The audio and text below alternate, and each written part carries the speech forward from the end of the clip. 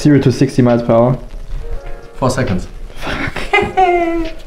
Porsche 959. Height 1.188 meters. 1.186 Fuck.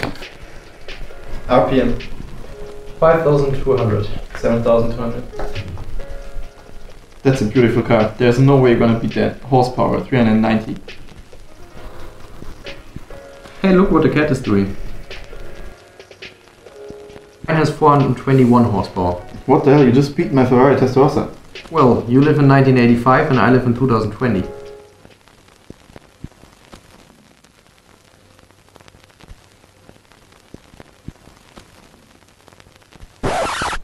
Good morning guys and welcome back to our channel. Remember the times when a Ferrari Testarossa with 390 horsepower was basically the fastest car on the road? Well, today you can get this kind of performance and even more in a hot hatch. And the latest trump card in the hot hatch game is the new Mercedes A45 AMG.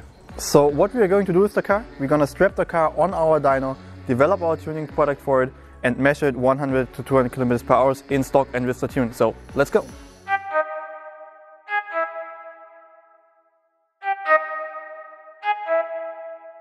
I need to know everything, who and the what and the where, I need everything.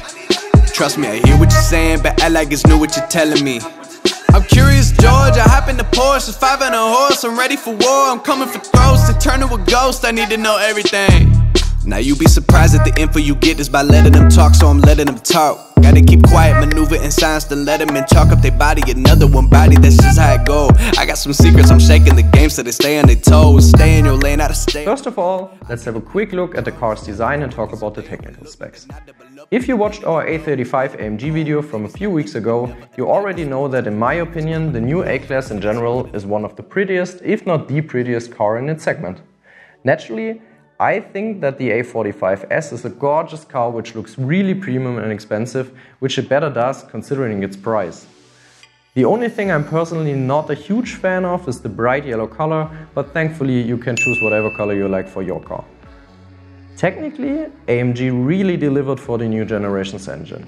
For me, producing 421 horsepower from just 2 liters of engine capacity for a car which you can basically use as your daily driver is kinda mind-bending to be honest. I mean, remember the F80 generation of the M3 which is just a few years old? It had just 10 horsepower more than this when it came out, from a 3 liter inline 6. AMG pulled that off by fitting the engine, internally called M139, with a huge twin-scroll turbocharger which produces 2.1 bar in stock. Additionally, it has a closed-deck cylinder head as well as forged aluminum pistons to make sure the fun doesn't end after a few thousand miles. Let's head to the road to see how the car performs.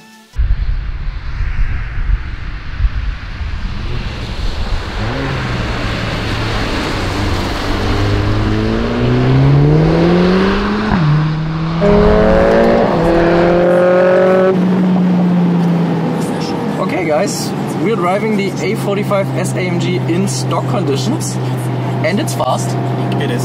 It really is fast. I mean, the last one was fast, yeah, but this definitely feels faster. And AMG did it again. It's the strongest 2.0 turbocharged engine in a production car. Absolutely, and it basically feels like they crammed the V6 in the front or something. It's it's kind of crazy for a two-liter engine. You just have to say. And also, what you feel right away is that they somehow managed to put a huge turbocharger in it. And when we say huge, we mean huge. We're gonna show you a picture of it later. But still, it has a good responsiveness. It actually feels a little bit like a naturally aspirated car, don't you think? Yeah, we saw that on our logs as well. Um, if you have a look at the boost curve, it picks up the boost by RPM quite nicely. So there is not like a huge chunk load of, of boost in like the lower RPM uh, areas. It picks up nicely over the RPM, which like gives you the feeling of driving an uh, NA engine while still having a huge turbocharger. Uh, Absolutely. Yeah, and what I also like is that this gives the car kind of a more serious character. It doesn't feel like some teeny uh, hot hatch uh, which you can buy for $30,000, but Yeah. instead it feels like a serious, expensive car, which it absolutely is. I mean, this is like $80,000 or more, right? and it's controllable, right? So you don't have Totally, the feeling like totally. kicking in and you just like have no control over it. Over it. And also, it sounds pretty good on the inside, which is good, but it sounds also like a lot of the sound is coming from the speakers, in my opinion. Definitely, we should uh, do a sound check now. I think so too. Let's head to the outside and see how it sounds from the outside. So guys, you probably remember the sound of the previous A45 AMG.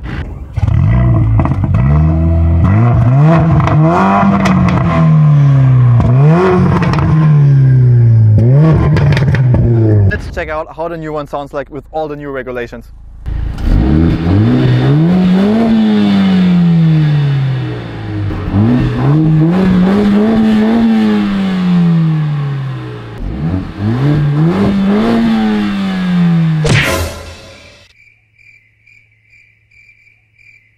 Nope.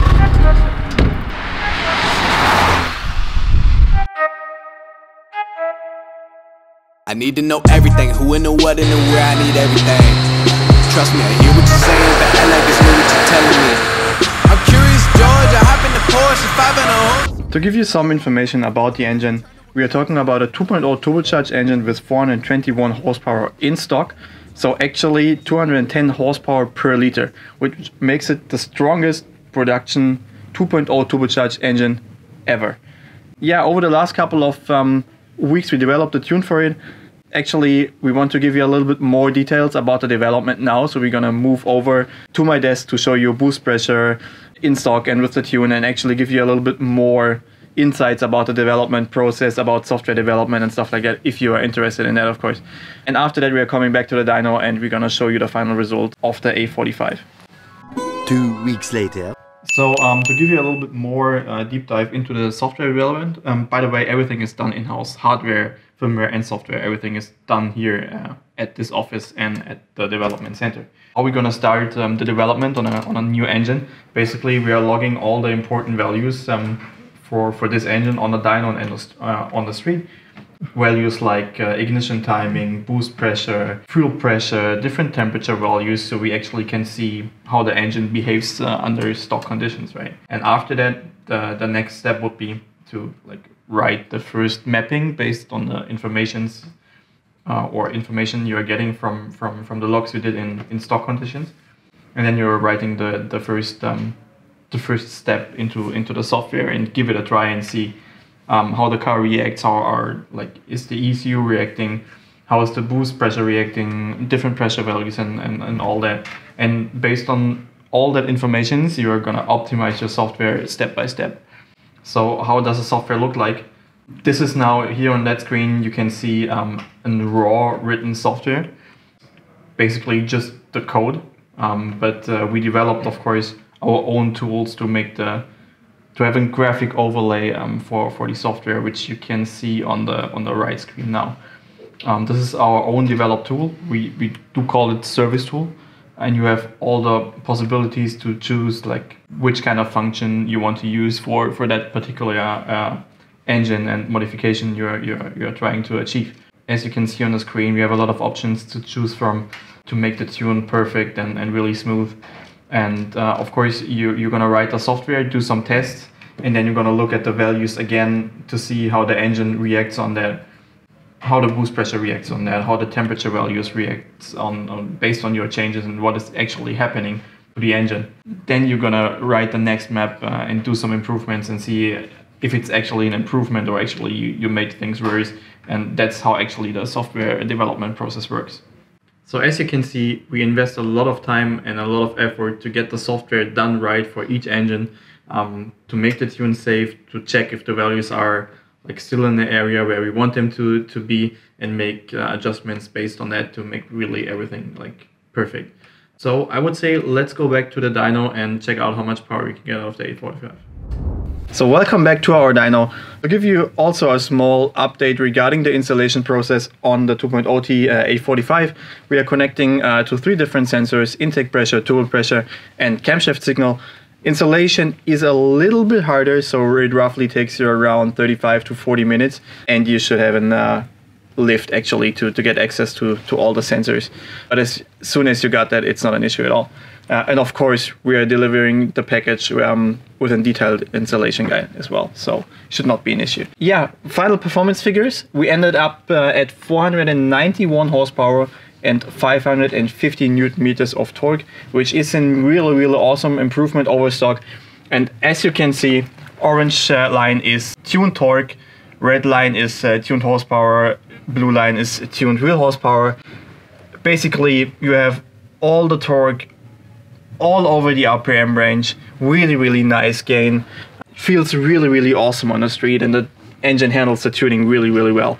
So I would say we move over to the Autobahn, measure 100 to 200 uh, and see actually by how much we can drop the time.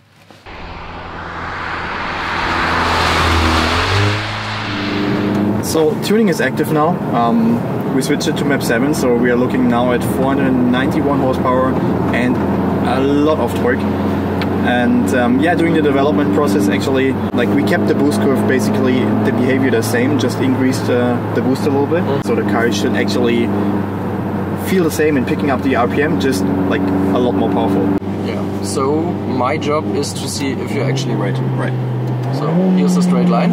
Let's see what happens.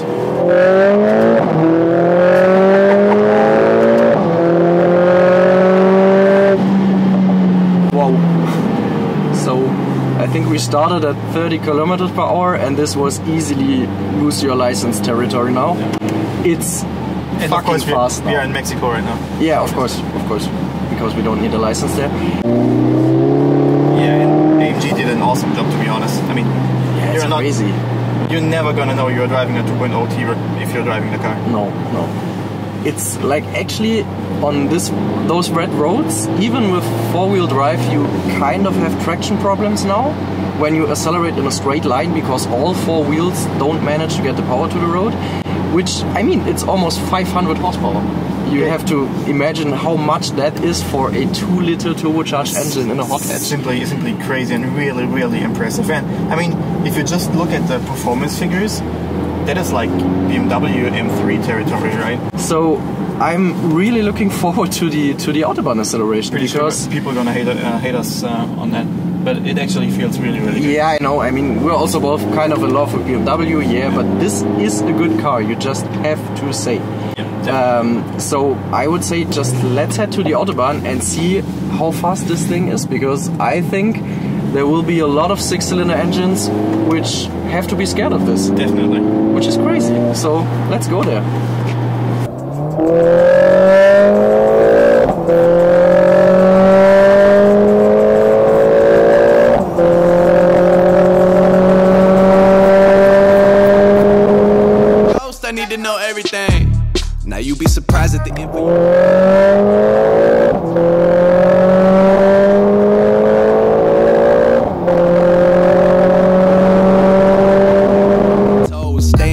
To stay on the go. I can play with the pros. The A45 SAMG pulls off a stock time of 10.22 seconds, which is just completely nuts. Let's bring that into perspective. Our stock Audi RS3 with its famous 5-cylinder engine pulled off a time of 11.1, meaning a whole second slower. The brand new BMW Z4 M40i took 11.9 seconds for the same run, so almost 2 seconds slower. And both of them already are really fast cars. With our tune, it's almost another second faster, resulting in a time of 9.16. This is about as fast as the stock Lamborghini Urus with 650 horsepower. Just like that, from a tuned four-cylinder engine. Crazy times we're living in. So, what do we think about the A45 SAMG as a car in general? We all know it got some pretty critical reviews from well-known car journalists and most of the points of criticism were about how the car behaved on a track. Since we didn't track the car, we can't really judge that. On the road, however, this thing is a beast. You're talking about performance in the range of a BMW M3 or Audi RS4 in a hot hatch with a 4-banger. It's really impressive from a technical point of view and it's also a great daily driver thanks to the hatchback body style and the great interior with the MBUX infotainment system. So if you have enough money to spend and if you're not planning to track the thing on a regular basis, you will definitely be very happy with the A45, especially if you tune it to almost 500 horsepower with our performance boost. Is there a catch? Well, unfortunately Mercedes seems to know they built a good car and hence they let you pay for it. The car we tested costs almost 80,000 euros, which is a crazy amount of money for a hot hatch. But if you're willing to spend that, have fun hunting 6 and 8 cylinder cars on the Autobahn. That's it for this week's video guys. If you liked the video, leave us a like, post your opinion about the A45 in the comments, and of course subscribe to our channel to never miss a future release. See you in a few weeks.